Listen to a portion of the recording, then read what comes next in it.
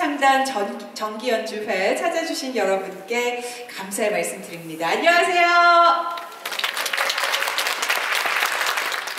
자, 오늘 바깥은 참 추운데 이렇게 추운 날씨에도 여러분께서 함께 해 주신 만큼 따뜻하고 아주 멋진 그런 시간들 여러분께, 여러분께 선물을 해 드리도록 하겠습니다.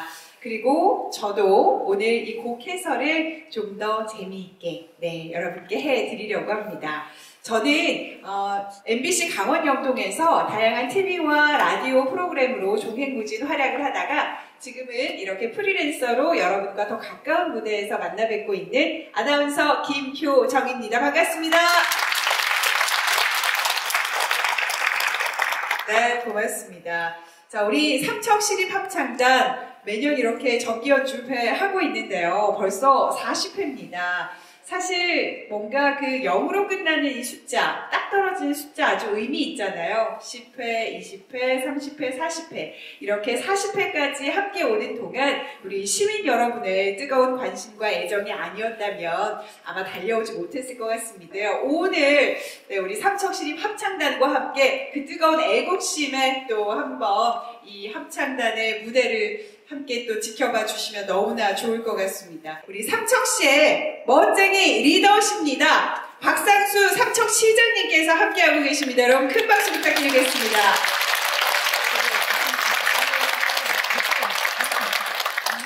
네, 언제나 우리 삼척시립 합창단 정기 연주가 있을 때마다 이렇게 오셔서 아낌없는 격려를 해주셔서 너무나 감사합니다. 그리고 또 한 분, 네, 우리 삼척시 인파를 이끌어가고 계시면서 언제나 민의를 바르게 시정에 전달하고 계신 분이시죠. 정정순 삼척시 인파 의장님 함께하고 계십니다. 큰 박수 부탁드립니다. 네, 너무나 감사합니다.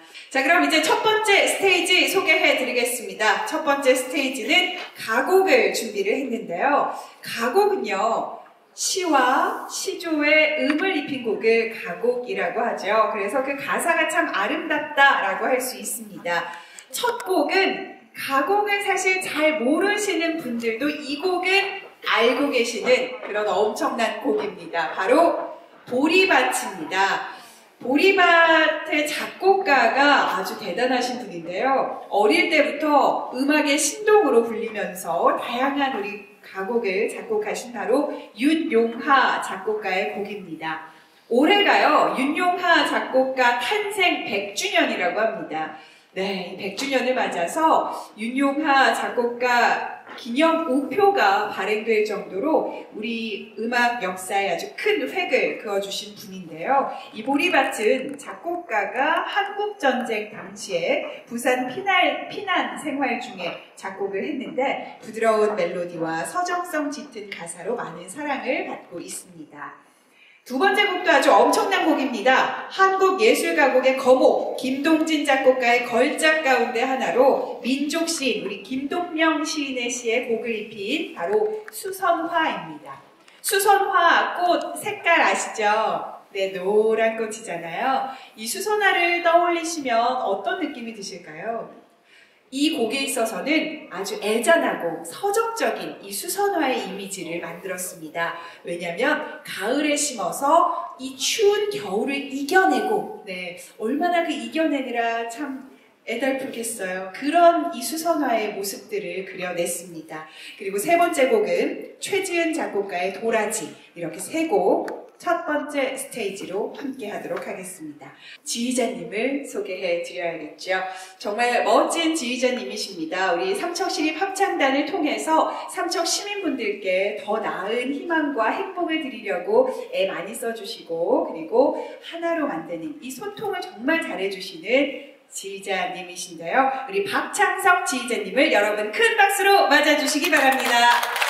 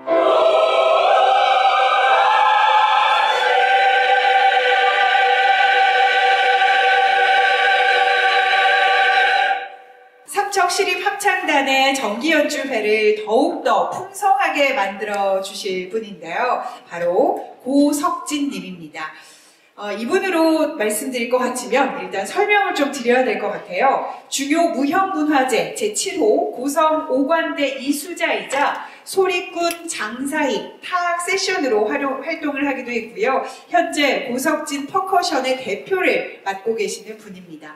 이분이 참 대단하신 게요. 바로 지난달에 정규 앨범을 발매를 했는데 이 정규 앨범 이게 왜 대단해? 라고 하실 수도 있는데 이 앨범이 의미가 있는 건요. 우리나라 최초로 타악기 연주 솔로 음반을 발표했다라는 것에 그 큰 의미가 있습니다. 네. 대북, 뭐 장구, 모든북 이런 창작 기악곡들을 담았는데요. 한국 음악의 뿌리가 바로 전통 타악에 있는 만큼 타악 연주자로서 여러 활동을 하면서 그것을 기록하기 위해 노력을 하고 있다는 점에서 여러분 더 큰 박수로 모셔주시면 감사하겠습니다. 오늘 그 앨범에 수록된 곡 가운데 두 곡을 전해드릴 텐데요. 여러분 이 앞에 있는 거 보이시나요? 네, 이게 뭘까요? 항아리. 항아리도 악기가 됩니다. 항아리 안에 물이 담겨져 있고요. 또 바가지가 이렇게 물 위에 둥둥 떠 있습니다. 아, 손가락과 손바닥을 통해서 이 항아리 또 바가지가 소리가 되고 장단이 된다는 것 정감 있으면서도 아주 익살스러운 그런 연주로 다가올 겁니다. 그리고 잼배까지 함께 하도록 하겠습니다.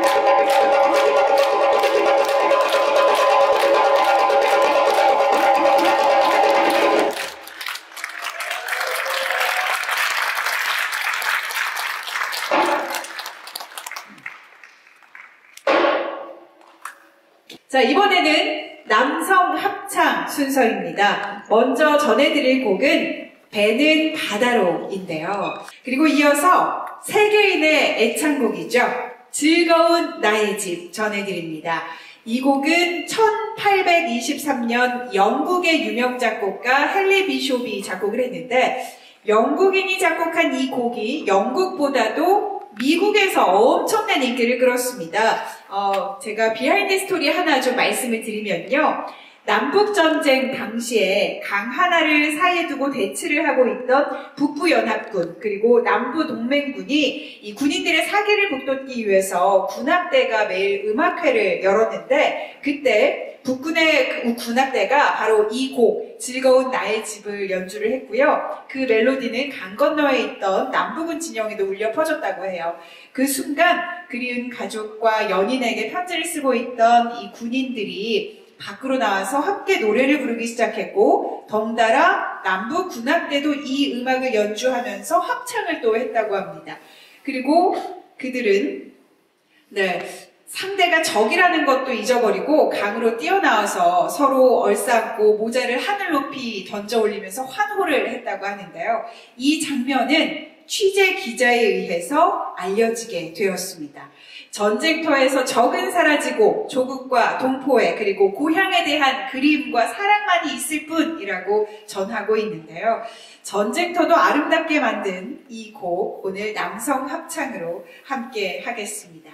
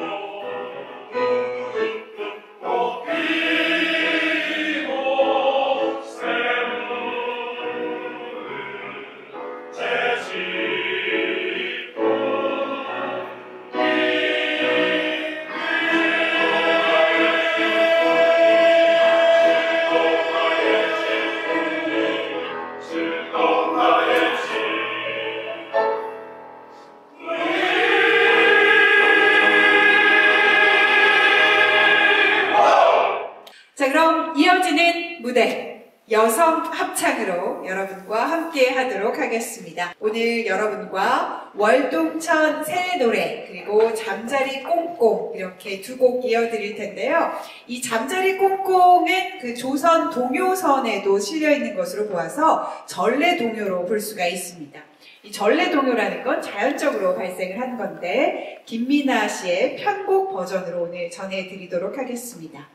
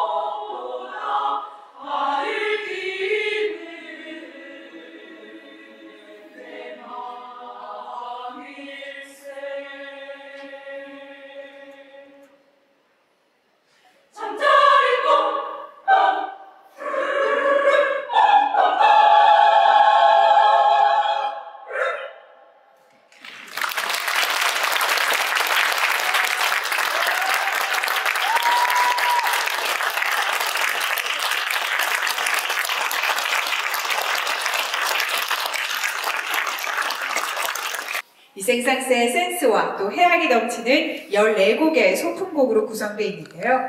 자, 이 두 곡을 임예은님과 곽신영님께서 함께 해 주실 예정입니다.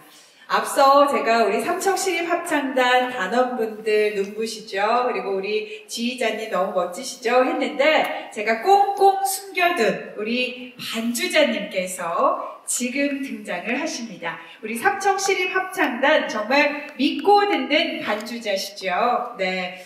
곽신영 반주자님과 그리고 오늘 또 한 분의 special guest 가평군 소년소녀 합창단 반주자이자 작곡자와 편곡자로도 활동을 하고 계신 우리 임예은님께서 두 대의 피아노로 전해드리는 울림 함께 꾸며드린다고 합니다.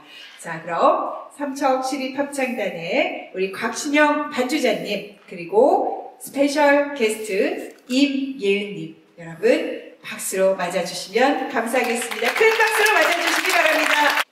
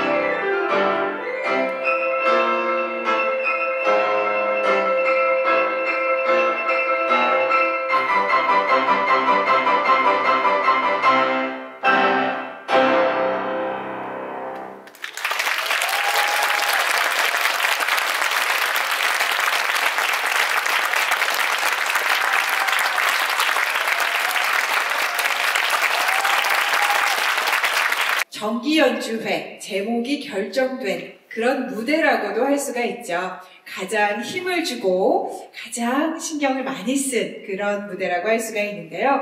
오늘의 주제가 하이라이트라고도 할 수 있는 마지막 무대입니다. 태극기의 사괴, 이 건곤 감리를 우효원 작곡가가 대합창곡으로 표현한 아 대한민국인데요. 아주 웅장한 매력을 느낄 수 있는 그런 무대가 될 것 같습니다. 건은 하늘입니다. 그리고 봄을 또 상징하고요. 정의로움을 표현을 했습니다. 그리고 고는 땅을 상징하는데 어, 이 곡에서는 풍요로움과 민족의 숨결을 또 표현을 했습니다. 그리고 감은 네, 달, 물, 생명력을 표현을 했고요. 리는 해, 그렇죠. 불, 광명의 발전을 표현을 했습니다. 네, 이렇게 사괴에 담긴 상징적인 의미들을 담아서 두 대의 피아노와 그리고 타악의 협연으로 한민족의 얼과 정신을 표현하는 아주 힘있는 작품입니다.